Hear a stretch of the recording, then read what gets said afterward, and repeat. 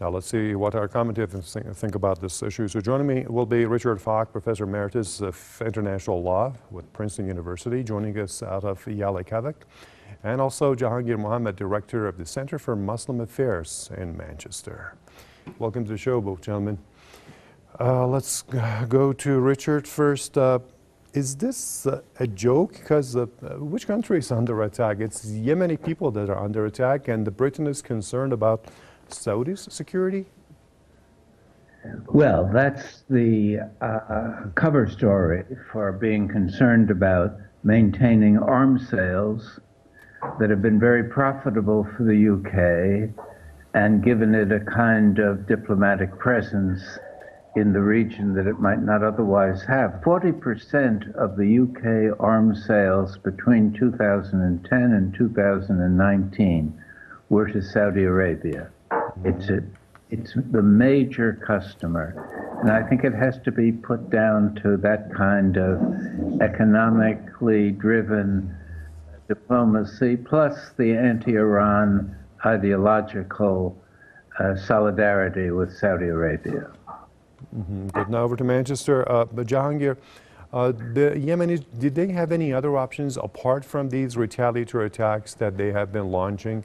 They are attacked and they have to defend themselves. And that's, you know, in the absence of uh, uh any practical help on the part of international organizations or the international community. Well, I think uh, obviously um, the Saudis are bombing from the skies and attacking the, the people of Yemen um, which has caused mass famine in the country. And uh, people have uh, a right to uh, resist that, uh, that attack. Uh, uh, and of course, um, the Western governments have been aiding and abetting that with arms sales to Saudi Arabia. So, um, you know, um, I think it's obvious that there's external interference in, in Yemen and the people have a right to choose their own government, uh, to choose, uh, you know, uh, how they uh, elect that government, and not to have one imposed on them from outside. So the Yemeni people are really defending their own sovereignty, uh, and um, the, the Saudi Arabia is doing everything to subvert that. Uh, and of course, um, you know, um, Saudi Arabia is the number one arms purchaser in the world. Uh, mm-hmm. And uh, you would think this small country, uh, uh you know, it, it's uh, it's go, it's waging a world war on somebody. It's buying that many arms. Uh, you know, you wonder at times why why they're buying so many arms from the United States, which is the biggest arms seller in the world. And of course, Britain is in the top five as well. I think it's number two or mm. number three. I don't remember. So obviously that plays a part. But uh, you know, ever since Lawrence of Arabia, uh, uh, the the famous British spy, helped to create some of the uh, the puppet regimes in the world. Uh, there's a consistent policy from the United Kingdom in propping up families in that region. So I think. Uh, it's not a surprise that the United Kingdom is supporting the ruling family in Saudi Arabia mm-hmm. and uh, supporting it in Yemen because it sees a a independent government in Yemen as a threat to Saudi royal family. Yeah. Richard, if you remember, there was this uh, bill or some kind of ratification at uh, uh, Westminster calling in the government to stop or somehow curb uh, this uh, arms sale to Saudi Arabia, and also given the fact that it's a known fact that those arms provided by the US and the UK and also France, they're being used to take mostly civilian lives in Yemen. So is there any justification for this, apart from, as you said, just uh, uh, caring about not the people's lives, it's only material gains that the UK is trying to gain? Uh, it's it certainly uh, does there certainly doesn't seem to be a justification there unfortunately are not clear international law prohibitions on supplying uh, weaponry to foreign governments. And so, in a sense, it's a matter of diplomatic discretion on the part of the UK. It's surprising in light of the fact that the Biden administration, which has done some questionable things in the region that you discussed earlier. Uh, but one thing it, one constructive thing it did was to stop the shipment of offensive weaponry to Saudi Arabia in the hope of securing a peace negotiation in Yemen.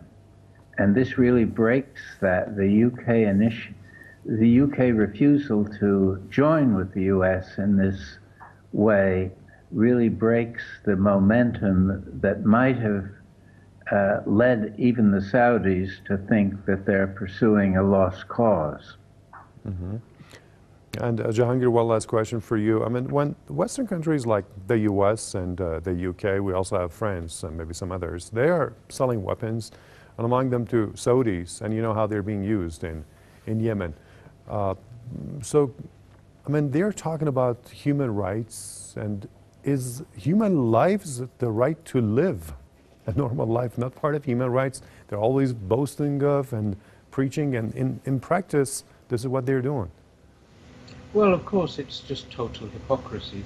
They sell uh, weapons to some of the worst human rights abusers in the world and to different armed groups. So, uh, you know, they actually fuel a lot of the conflict in, in the world instead of looking for peaceful resolutions to the problem.